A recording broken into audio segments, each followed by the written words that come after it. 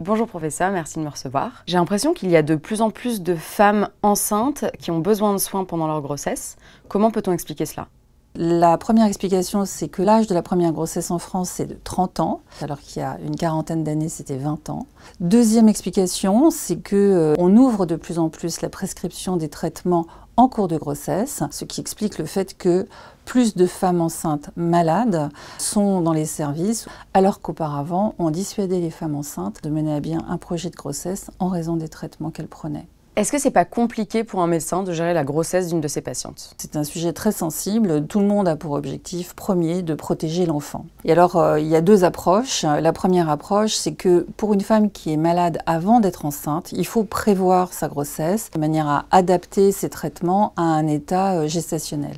L'autre point important, c'est euh, d'éviter de faire des erreurs qui consisteraient, par exemple, chez une femme qui a une maladie chronique et qui découvre qu'elle est enceinte, arrêter brutalement un traitement parce que qu'elle a peur pour son enfant. Et donc il faut savoir respecter un équilibre entre le bénéfice pour la maman et les éventuels inconvénients pour le fœtus. J'ai vu qu'en France, en moyenne, une femme enceinte prend 9 médicaments différents au cours de sa grossesse. Est-ce que c'est pas risqué?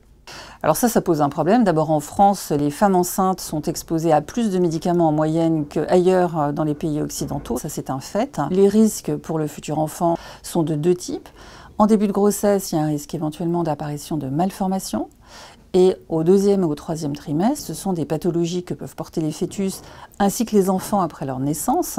Néanmoins, on essaye de prescrire et de donner à bon escient les bons médicaments et on évite bien sûr tout ce qui relève de l'automédication, des médicaments qu'on achète sur Internet. Déjà, leur efficacité n'est pas forcément évaluée et évidemment, leur dangerosité encore moins. Et quelles sont les pistes de recherche pour l'avenir? Il y a des travaux qui cherchent à améliorer les médicaments chez la femme enceinte, donc euh, évaluer leur efficacité, mais il y a aussi des fœtus qui sont malades et qu'on commence à soigner pendant la vie intra-utérine. Et donc en fait, euh, la piste de recherche sur les médicaments en cours de grossesse est une piste qui est euh, extrêmement intéressante pour les jeunes chercheurs. Et l'Académie de médecine, à ce titre, s'empare de façon privilégiée de cette thématique.